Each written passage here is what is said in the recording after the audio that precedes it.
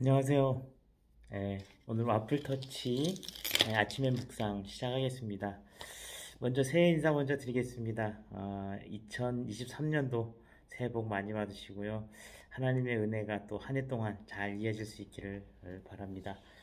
네, 오늘 본문 말씀 보겠습니다. 오늘 본문 말씀은 예레미야서 1장 1절에서 19절까지 있는 말씀입니다.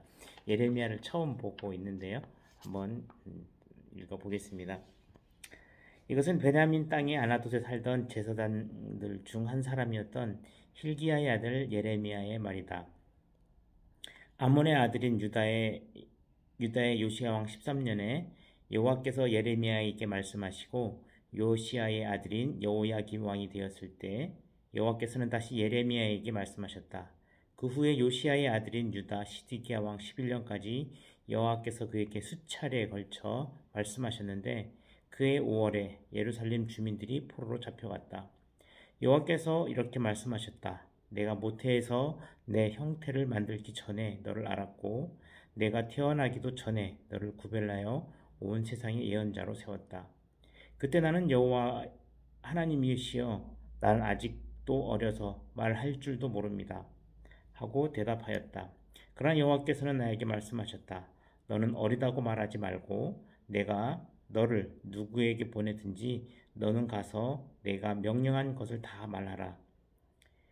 너는 그들 두려워하지 말아라. 내가 너와 함께하여 너를 보호하겠다. 이것은 나 여호와의 말이다. 그러고서 여호와께서는 손을 내밀어 내 입에 대시며 말씀하셨다. 보라, 나는 지금 내가 해야 할 말을 일러주고 있다. 내가 오늘 너에게 많은 민족과 나라를 다스리며 그들을 뽑고 파괴하고 파멸시키고 넘어뜨리고 건설하며 심는 권한을 주겠다. 여호와께서 나에게 예레미야야 내가 무엇을 보았느냐 하고 물으셨다. 그때 나는 살구나무 가지를 봅니다. 하고 대답하였다. 그러자 여호와께서는 잘 보았다. 이것은 내 말을 이루기 위한 것이다. 하고 말씀하셨다. 여호와께서 다시 나에게 내가 무엇을 보느냐 하고 물으셨다. 그래서 나는 끓는 가마를 보고 있는데 북에서 남쪽으로 기울어졌습니다. 하고 대답하였다. 그때 여호와께서 나에게 말씀하셨다.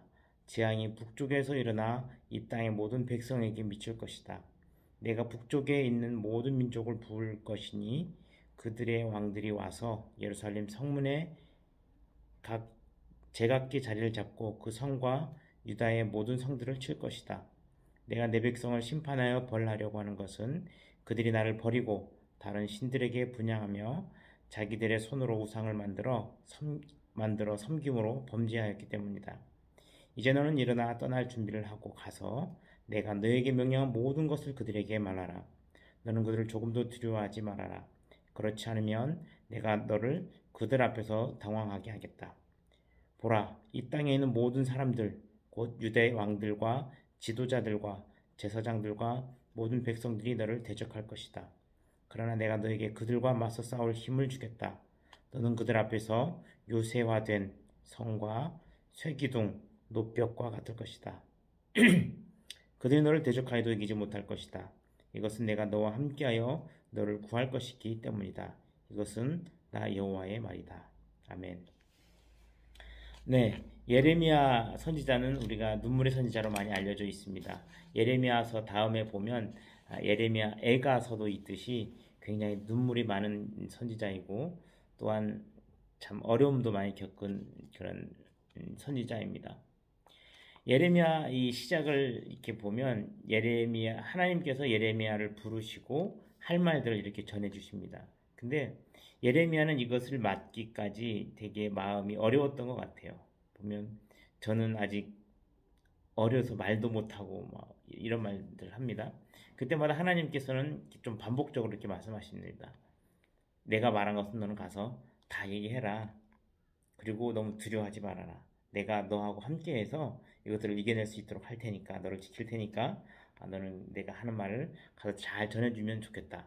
이렇게 계속해서 말씀하고 계십니다. 그래서 살구나무 가지도 보여주시고 끓는 가마 이제 영 이제 환상도 보여주시고 그럽니다. 근데 이제 예레미야를 통해서 하나님이 메시지를 전달하고 하는 하려고 하는 그 과정을 좀 생각해 봤습니다. 이스라엘 백성들이 하나님의 백성들이 자기 하나님을 버리고 다른 신들에게 분양하고 우상 만들어서 섬기기 시작했어요. 그랬기 때문에 하나님께서는 그 이스라엘 백성들에게 경고를 주면서 돌아오도록 이렇게 메시지를 전달하려고 하는 것이죠. 그 사람들은 왜 그렇게 하나님을 버리고 그들을 쫓아갔을까?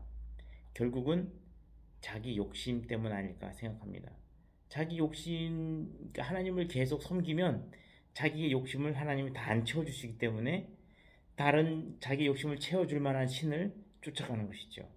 거기에서부터 이스라엘 백성들은 어, 이 메시지를 받아야 할 그런 어, 하나님의 메시지를 받아야 할 사람들로 이제 되어버린 것이죠.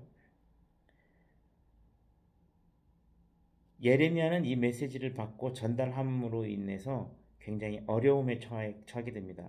하나님께서도 그렇게 말씀하세요. 왕들과 지도자들과 제사장들 모든 백성이 너를 대적할 것이다. 이쯤 되면 예, 예레미야 입장에서는 굉장히 마음이 어려울 것 같아요. 모두 다 대적이 된다고 하니 누가 좋아하겠습니까?